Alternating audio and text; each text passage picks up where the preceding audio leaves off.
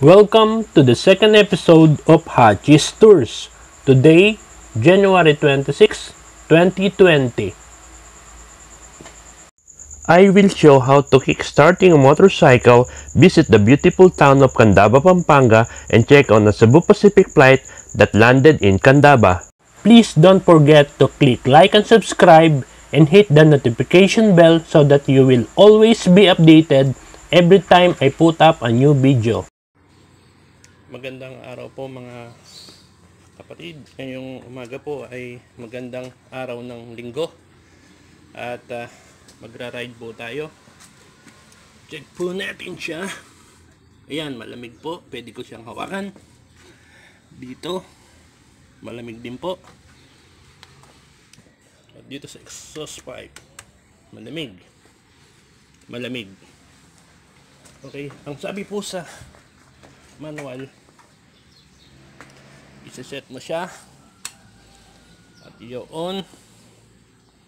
Ito po yung lever arm.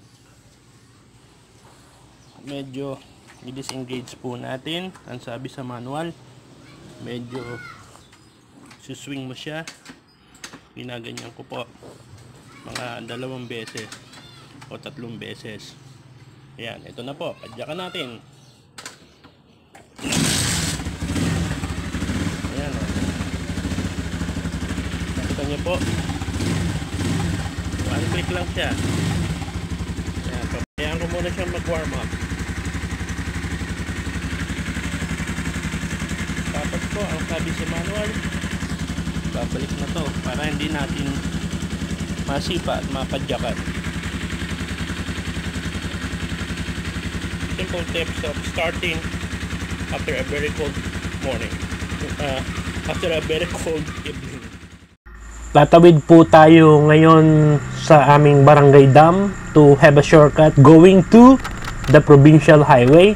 So, yan, dito po ako lumaki. Naglalaro po kami dyan, nagsiswimming. Aangat ka po dun sa platform, lulundag sa gawing kanan sa water reservoir para maging member ka ng Tarzan Group.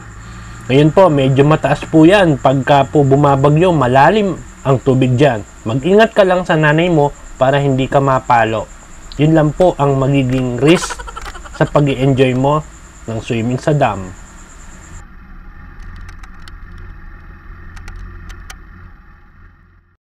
Ito po ang total view ng dam.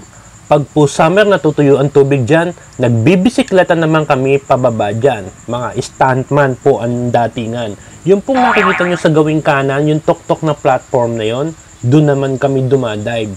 Pakabila, doon sa water reservoir. Nandito na po tayo ngayon sa provincial road ng Candaba.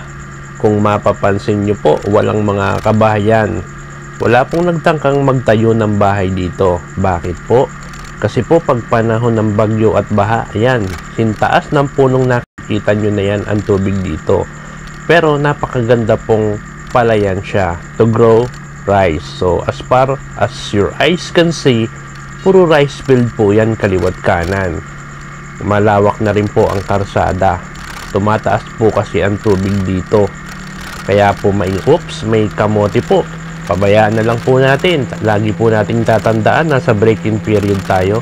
60, 50, 50, 60. Yun lang po ang takbo ng ating Gamma Burr. Pero tinesting ko rin po ang takbo niya. Ayan, nasa 70 po hanggang 80 ang takbo ng white na, na rider na yan. Kaya po, pinabayaan na lang din po nating lumayo. Ngayon po, kanina po yung pinakita ko kung paano ang pag-start sa umaga. Kailangan po isi-swing nyo ang lever arm. Mga tatlong swing sa pendulum dun sa ilalim para po mag-disengage ang mga gears niya at ang piston. Bumuka para makapasok ang hangin. Kaya po isang padyakan lang at hindi rin po mabubugbog ang starter natin ngayon po pag napaandar na pwede nyo na pong gamitin yung push start sa mga susunod na pag-start okay yan po, yung white rider na yan, talagang hinihintay tayo niyan. Nakita nyo? Hindi siya umovertake dun sa tricycle. Pwede naman pong umovertake ng kaliwa o kanan. Pero pinili niyang hintayin tayo. Ayan, humataw na naman po siya. Nagyabang na naman po si Carlo Rossi. Tayo po si Marquez. Ayan, naghabulan na po tayo. Ang takbo niya po dyan ay nasa 70. 70 to 80. Yan, medyo minor. Tulay po yan. Pero ayoko na mo po talagang makipagkarera. Kaya po pinapabayaan ko na siyang lumayo. Pabayaan na lang po natin siya. Okay? Ngayon po, going back to the, to the topic of starting kailangan po siniswing nyo yung lever arm ng starter, kick starter para gumalaw yung piston at uh, cylinder head para po mag-ready na for combustion. Saka nyo po padyakan. Yung pong White Rider na yun, pinabayaan na po nating lumayo. May nakita po tayong Red Rider. Ayan, yung Red Rider naman ang nasa harap natin. Ang takbo po natin dyan, nasa 80 po. Ayan no, medyo lumalapit tayo dun sa Red Rider pero nakaramdam din po siya. Mukhang hahabulin niya yung White Rider. Kaya po dito lang po tayo sa likod. Ayan, nasa 18 na po ang takbo natin yan. Medyo mabilis-bilis na rin po. Kaya po medyo nag-exceed ako sa 60 kph na speed limit para sa break-in. Pero tetestingin lang po natin si Gamma Burn natin. Uh, ngayon lang naman po ako nagbumabad ng ganitong speed. So yan, tingnan nyo yung paligid. Ang ganda oh. Sa left side may mga palay pang kulay green. Sa right side, inani na siya. Nagbibila din po sila dito sa kahabaan ng Candaba Highway na to. 20 kilometers po na ganito to kaya po masarap mag break in. Walang masyadong kabahayan. Ayan po, napansin nyo po ba? Sa konting kurbado na yan, ayun yung white rider sa right side hinintay pa rin po tayo. Gusto po talaga nila ng mga asar ng mga karera pero nagtitimpi po ako pero parang si FPJ po yan. Hindi na tayo hindi ka na sisikatan ng araw. Pag lumaban ng api ayan po testingin po natin ngayon. Testingin natin ang speed niya ayan 100 na po takbo natin. Subukan nating overtakean. Ayan mabagal lang naman din po pala siya. Naka overtake tayo Ayan po, ayan, nakita niyo yung Red Rider. Aabutan na rin.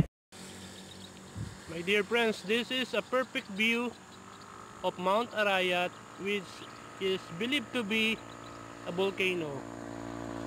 Ayan, nandito po tayo ngayon sa paligid ng uh, Candaba area, bus area of rice fields.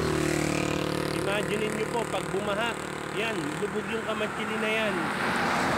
Yung nakikita nyo po na yan, pag bumaha dito, galing ng Nueva Ecija papuntang Pampanga ang tubig, siguradong lubog ang mga punong nakikita nyo.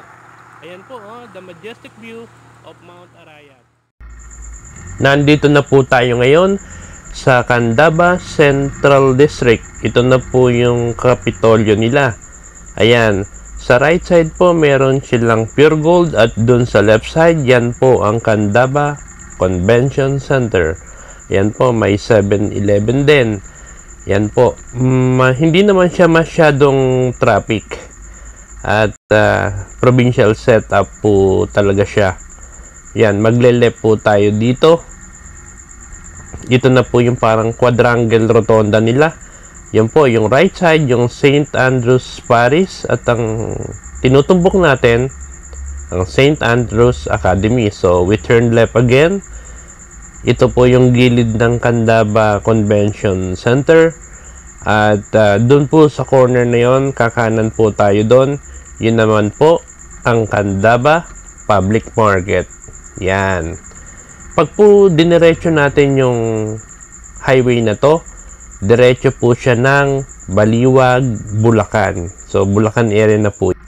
Ito naman po ang Candaba Municipal Hall, yung nasa right side. Yun po yung pure gold, yun naman po ang galing tayo kanina. Yung pagpasok ng Central District ng Candaba. So, we move on. Tapos po, turn right. Diyan po tayo galing. Okay? So, pahinga po muna tayong konti. My dear friends, this is the most exciting part of our break-in period for our Gamma Bear. This is an actual Cebu Pacific flight that landed in Candaba Highway from Baliwag, Bulacan. The registry of this Cebu Pacific flight is RPC 1537. So come on, let's move closer so that we can check the actual texture of this resting plane. We can still remember when this was in the active service, landing and flying through the Manila Domestic Airport Terminal. This is also the same or similar unit SJ378 that crashed in Sumagaya Mountain in Misamis Oriental. I felt a goosebump as I moved closer to this plane as I can remember that I am also boarding this aircraft from Manila to Cebu, Cebu to Cagayan de Oro, or Manila to Butuan City during my assignment in the area. And this is the portion that they detach the wings so that it will not block the passing people of Candaba and Baliwag. So this is now its resting place. Let's check the wings. So these are its wings. And let's move closer. Excuse. And so my dear friends, uh, this is the actual wings of the aircraft. I can touch it, I can walk through it with the baby Carabao and uh, this is the whole view as if it is just lying peacefully in this side of the road. So thank you very much for watching this video and hopefully you will do the same in my succeeding episodes.